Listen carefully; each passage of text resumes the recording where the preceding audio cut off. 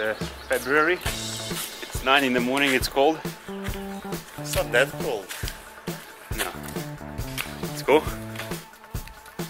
So that's how it looks in February, yeah? At 9 in the morning.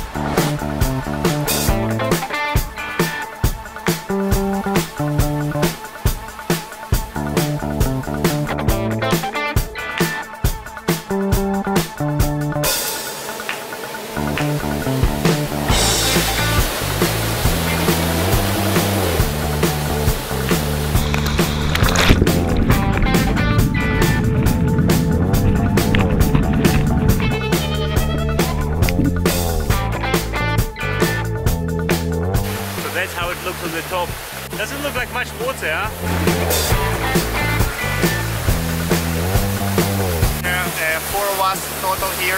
The place is Friday morning, but I can imagine Saturday, Sunday, how busy it's here.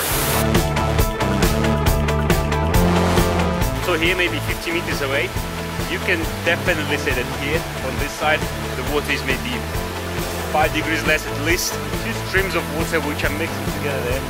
But on this side it's very cold and that one is still warm.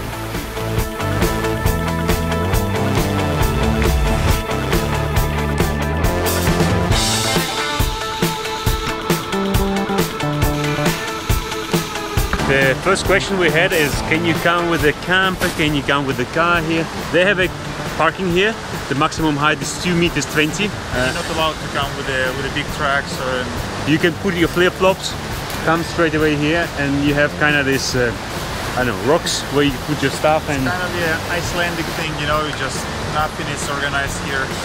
yes, It's public public place, it's free entrance, so but you can uh, take a shower there. yeah, you have to pay for that. Yeah, in Spain. So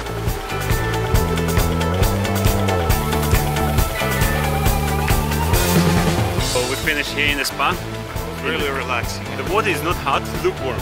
Yeah. It's nice to stay, you're not getting hot, you're not getting cold if you stay inside. But it's February when you come out, And it's like 5 6 degrees Celsius outside, so but at least it's create the atmosphere. Uh, there's more of the. if it was hot, it would be there. but it's alright, it's like 38 degrees Celsius, so Another thing, I wish we had a drone, huh?